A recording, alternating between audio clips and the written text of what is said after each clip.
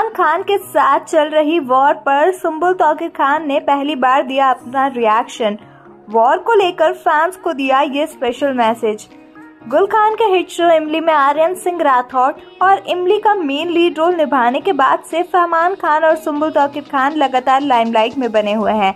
इन character से उन्हें घर घर में अपनी पहचान मिली और फैंस को तुरंत उनकी ऑन स्क्रीन केमिस्ट्री काफ़ी ज़्यादा पसंद आने लगी थी, जिसके बाद फैंस उन्हें ऑफ़ स्क्रीन भी एक साथ देखना चाहते थे। इमली की शूटिंग के दौरान उन्होंने एक अनब्रेकेबल बॉन्ड ऑफ़ फ्रेंडशिप भी बनाया था।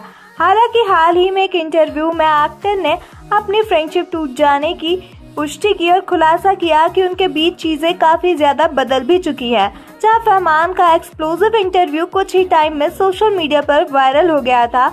वहीं सुम्बुल तौकीर खान पूरे मामले पर चुप्पी साधे हुए थी। हालाँकि, अब हाल ही में वो मुनवर फारूकी के नए गाने मदारी के लॉन्च इवेंट में शामिल हुई, जहाँ उन्होंने मीडिया से बातचीत की और एंड में चल रहे इस कंट्रोवर्सी पर भी अपना रिएक्शन दे डाला। जबकि वो असलियत में अपने और फहमान खान के बीच के इस मुद्दे के बारे में बातचीत करना भी नहीं चाहती थी। सुम्बुल ने फहमान के फैंस के साथ चल रहे सोशल मीडिया वॉर के बीच में अपने फैंस के लिए एक स्पेशल मैसेज शेयर किया। एक्ट्रेस ने कहा, जितने भी लोग मुझे चाहते हैं वास्तव में चाहते हैं, जो नज़र में आता है कि वो मेरी तकलीफ़ को खुद की तकलीफ़ समझते हैं। बोला, आपका सुम्बुल तौकीर खान के कहीं इन बातों पर क्या कुछ है कहना, हमें कमेंट्स में ज़रूर बताएँ। ऐसी ही अपडेट्स के लिए हमारे चैनल को सब्सक्राइब करें।